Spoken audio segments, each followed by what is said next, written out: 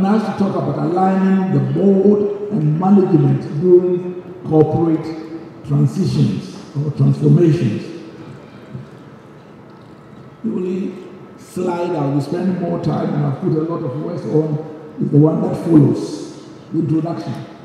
Because uh, to give my point so that when my 20 minutes is up, at least you know what I wanted to say. First of all, every improvement in an organization is transformation. And that is what Maggie. Every good manager does some sort of changes. 10%, 5 the type of things you are used to around the corporate table, the budget time, and the rest. And also, I must say, so called strategic plans are just mere projections from where they are without any strategy in it. In transformations, we are talking about radical changes, even when it has to do with performance, quantum changes in the performance level. But most importantly, it has to do with the way people do things, behavior, or corporate culture.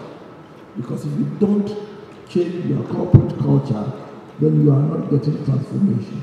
So when it is performance improvement, we are talking about, for example, they still call me former rector GIMPA, left that place, retired eight years ago. But I know the reason is that for nine years, we improved turnover by 50% every year continuously so that the output, the turnover, rose from half a million dollars to $15 million in nine years and the only public sector institution in Ghana which is not under subvention. So this is what we mean by the transformation that we, so I want us to make sure that, and such transformations tend to be characterized by a lot of speed, and this is my own coin word so that the English speaking people, if you don't understand certain uncertainties, you can you know that I'm speaking English. That is English from my village of Hemwasi. When you are going through transformations, especially the leadership will be certain where they are going, their vision and other things. But boy, no matter what you do, the day to day, there are so many uncertainties, and the ability to rise up to the occasion is what makes me call it setting where we are going and uncertainties of the many detours and how you go out and come in, it tends to and cultural change and quick actions. Major transformations always, whether in big or small organizations tend to be disruptive, risky, costly in the short term. And one of the biggest, especially if you're in business, is the fact that people expect these days a very quick return. And much of the problems many corporations, especially in the West, are facing is the appetite of the shareholders and the investors for quick return. So when you are going through a very destructive but eventually sustainable and profitable uh, transformations, you are in trouble because they're expecting to, when is the money coming? A lot of, I've been promoting to uh, investment in mutual funds and in the year, in the years 2008 and 2009, a lot of the people I advise comes to me and says, oh, you, know, my money is falling. They expect every year because they cannot wait for three years. And it's very difficult, especially under our circumstances, to follow, ask people to follow the simple dictum. When the stock market crash, buy more. because that's where the shares are cheaper. Buy when it's down and then sell when it's high. But then, eventually, of course, transformations will lead to improvement in the bottom line. However, and we may move on to the next introduction, However, no matter how successful a company is today, if you don't undertake strategic transformation, you will eventually fail. And you may not fail probably while you are alive, but you fail on your children's watch. I mean, I always use Panam. When we were young, Panam flew directly is the only one, and I like its blue colors. Panam will fly all the way from New York, Robertsville, Accra, and Lagos, and with their long uh, jets. The only thing that is remaining about Panam is the Panam building in Manhattan. You couldn't believe that Panam would die, or BOAC, British Overseas Airway Corporation, first time of going to Britain in 1971. I mean, it was a pride of the villager going on the BOAC. People think that British Airways is BOAC. No, it's a completely different corporation. But I'm, I'm using this to show how no matter, in fact, the more of a leadership you are, and you are, the likelihood you are, is it that you fail to do serious transformations and you will crash, especially in this age with competition, new modes of doing things cheaper, faster. So you cannot.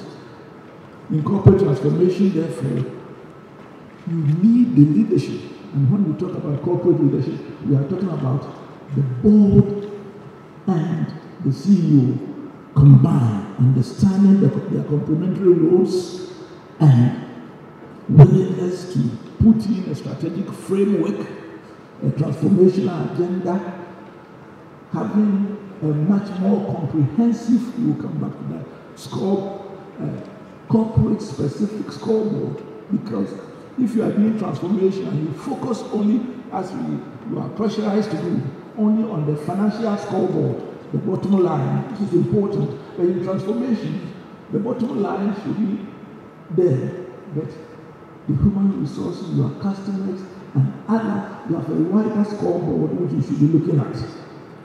Let's move on to the next slide. Now, what are the critical roles of the board and CEOs.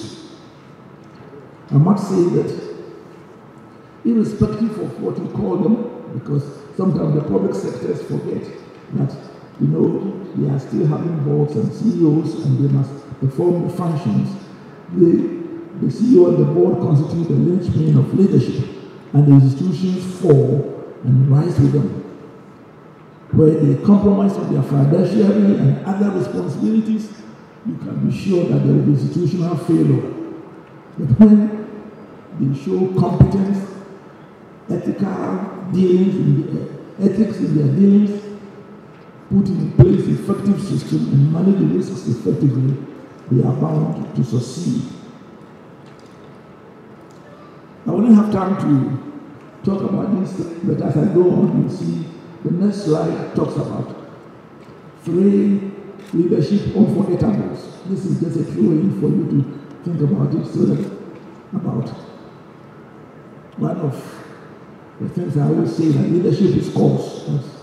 When it comes, especially when it comes to transformation, everything else is effect. Serious transformations are never bottom up.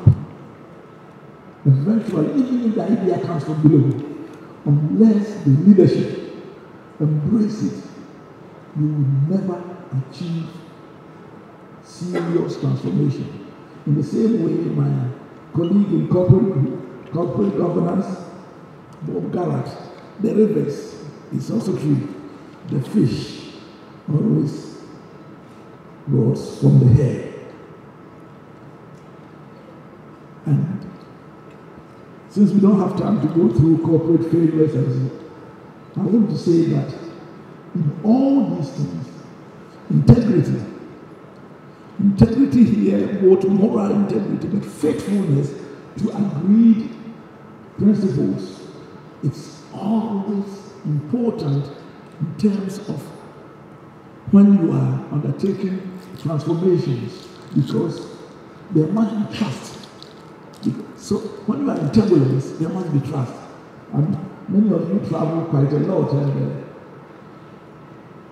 only thing is that you believe that the pilot knows what he's doing, except when you are flying over Cameroon in certain periods when they are flying over Cameroon and the pilot had to drop the plane by several thousand feet at once. It was going to hit very bad, and I could see everybody became religious in the plane. And then later he explained that really there was such a storm, he had to, in this case, drop so that he would go under it rather than above it. So, but when you are going through corporate transformation, if there is a sort of disquiet between the chief executive and the CEO, there's a lot of trouble. And the only way to deal with it is being transparent and showing integrity. Slightly so is greatly reduced. Let me now go to the relative roles of the CEO and the board in the next slide. I keep on saying the next slide because they are controlling from didn't give us one of these modern ones. Could you move on to the next slide?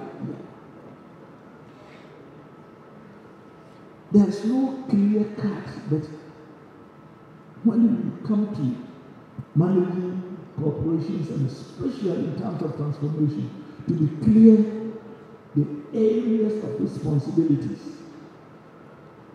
of both the board and management. Of course, in most cases, the CEO is part of the board. And when it comes to the, the vision, mission, and other things, doing strategies, he will, and his team will initiate it. But at the end of the day, the ownership of the vision, mission, core values belong to the board, including the chief executive team. So, and then, of course, both of them have to own the strategies. But when it comes to the detailed goals and action plan, the bottom operations, this, there must be a trust in the CEO and his team to be in charge. Now let me tell you that some of you here are both CEOs and uh, also board members. If you don't trust the competence and the integrity of your chief executive, you must fire the person. Because if it's, it's a matter of second guessing, you are in trouble. And everybody below. And that is a need for that type of trust between both the CEOs and their chief, uh, their boards. And that is where the board must also take their responsibility seriously because oftentimes the CEO has much more information. The see, a good CEO is as smart.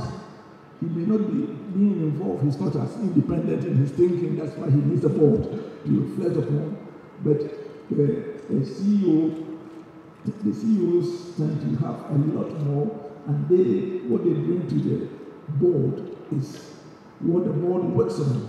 But if the board itself is not prepared, and oftentimes in transitions, very fast transformations, many of the boards just go along rather than performing their basic responsibilities of making sure in the next slide that things are being done legitimately so that we don't have the WorldCom and Enron and in Ghana, I'm sure many scandalous ones are going to appear because in the past eight days, I have, if you have been following our news items, including boards and uh, chief executives sharing $4 million and other things, it is the board's responsibility to make sure that what they are doing is ethical and legitimate.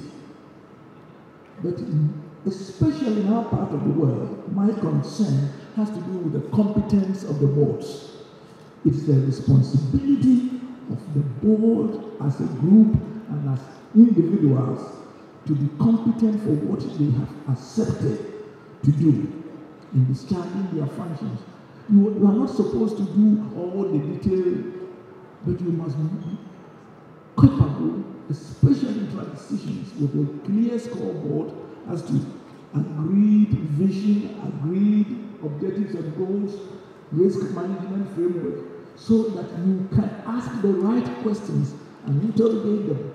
And if you don't have that competence and becomes a coffee drinking board, then of course I mentioned the trust and the ethics. Let me, moving to the end, let me, I've about only three more because of the 20 minutes. Foundations of effective board CEO relationship and alignment during, actually normal, except that in transitions, it becomes much more urgent. In other words, these things are not to be done when you are in transitions, but because of the speed of certain uncertainties in transitions and transformations, then these things assume greater dimensions. So let's go to the foundations of effective board CEO relationship. First, there must be a clear understanding between the two concerning their relative roles, authorities, and functions, and what they are called to do. And in order to do so, it, there must be a strategic framework in which both sign on a transformational agenda with signposts so that you can measure them and broad enough company specific scoreboards, indicators, and risk management systems which allows monitoring and evaluation mechanisms. I serve on about 10 boards in Ghana, all of them private. Most of them, uh, about half of them I chair. And we never spend more than two hours board meetings. And the reason is not that you know we, we don't want to take things serious. We are initially we are we agree on what we want to do. What, so I always tell the chief executives, please, if you can't do your job, tell me and I fire you. Because no. So we agree on that. And oftentimes people in serving on boards, the chief executives don't sit down to really agree. What I hate most is about 500 page strategic plan. No. The strategic plan cannot be reduced to 10 pages. It is not strategic. In other words, are talking about how your wife goes to market and uh, your husband, how, whether he eats well. That's not my, it's not strategic. The strategic issue you are telling in five years, you are going to take the company from A to B. These are the objectives, and this is the roadmap, and these are the indicators. And of course, for me, as to which are the risk factors, because that's what in our language we say that when you are making a path, they see you, you may not know whether you are path is straight. So somebody, the boss' responsibility is to stand there to see whether it's straight or not. And I want us to agree on that. In fact, when I finish here, I'm going to a management meeting, and we are going to spend only about one hour. Because when I go, this, what are they? We go through the scoreboard, and it's finished. And it's so important that you agree on that. That makes life easy for both the chief executive and the board, and you can have more time for coffee. And of course, make sure that it is not only the you know quantities, finances, but also the ethical standards, the framework of accountability, integrity, and transparency.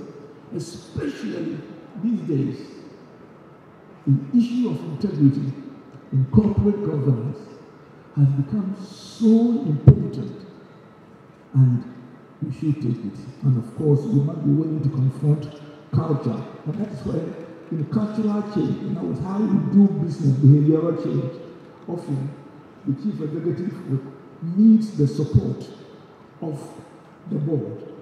because people don't want their comfort zone to be disturbed. And oftentimes they will come to the board and tell all lies about the chief executive. But then there's a limit to which the board should interfere in the chief executive's day-to-day operations. Let's go to jump over the, the next one and go to the last one. Let me summarize by saying there are simple, ordinary tools, but when we are going through transformation, it's so important that we take them seriously. And I'm just summarizing what I've said so far. The tools for effective alignment of board and management during corporate transformations. The first is, I'm listening uh, to the Bush saying that watch my lips. My words here have been specially chosen. Says, management initiated, board interrogated, and approved long-term vision and strategy. It's very, very important. That is the starting point. Management initiated, board interrogated, and approved long-term vision strategy, backed by a roadmap and operational principles. That is, then you can align uh, because you are now singing from the same hymn book. Of course, even as this also must be aligned with creating value for shareholders because the alignment of CEO and board is only intermediate to create shareholder value. I am more a development economist, but more towards the liberal side and the uh, Friedman is hero. The great, the first corporate responsibility is what? Anybody knows? First corporate social responsibility is to make profit. And if you don't make profit, I mean, this idea of, you know, when you go and help a, a school somewhere else for, with uh, just one person, then that's that. You all call it corporate social responsibility. That's not. If you didn't make profit, anyway, can you do it? So he said the first corporate social responsibility, increasing shareholder value. Everything else follows from there. Second, as I said, as a way summary, summary, is a clear scoreboard. What are we going to measure? And the measurement is in terms of not only financial, but turnover of senior management, you know, uh, the basic client base, the customers, is it growing or shrinking? Are you you must have a broader scoreboard in what you measure. And related to that is risk management. And if you have a, a sanguine like me, as your CEO, I know that my CEOs were always in trouble because I was doing something even as you and yourself in Namibia that spread my advice. My, and my director, Ellen Johnson, said if someone said, Stephen, what's happening? I said, just wait. For example, I decided that I would use all the resources on the poorest region of Anguilla in one term to transform it. And of course, the uh, bureaucrats in the country were so angry because they used UNDP resources as a piggyback, you know, to go for overseas conferences. And I said, yet. So, but the, there's a certain limit. That's why you must agree on the risk management so that you don't cause undue, the CEO doesn't cause undue trouble.